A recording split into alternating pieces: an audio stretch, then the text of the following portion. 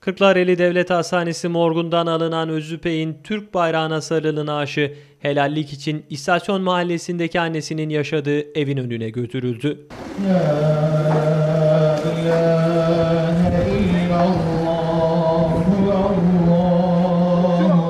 Anne Özüpek şehit oğlunun naaşına sarılarak evladım bırakma bizi adı gibi güzel oğlum seni çok özledik canım evladım sözleriyle gözyaşı döktü.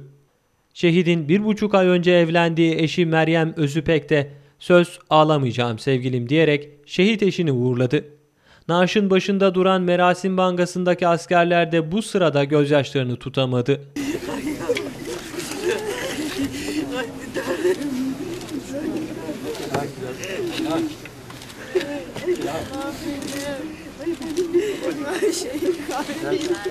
Şehidin cenazesi helallik alınması sonrası Hızır Bey Camii'ne götürüldü.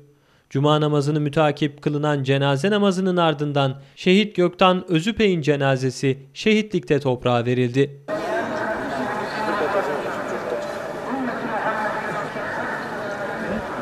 Törene ailesi, Bilim Sanayi ve Teknoloji Bakanı Faruk Özlü, Kırklareli Valisi Esengül Civedek, 55. Mekanize Piyade Tugay Komutanı Albay Mustafa Barut, AK Parti Kırklareli Milletvekili Selahattin Minsolmaz, CHP Genel Başkan Yardımcısı Tekin Bingöl, CHP Kırklareli Milletvekili Vecdi Gündoğdu ve Turabi Kayan, Belediye Başkanı Mehmet Siyam Kesimoğlu, Emniyet Müdürü Erkin Adalar, İl Protokolü ve vatandaşlar katıldı.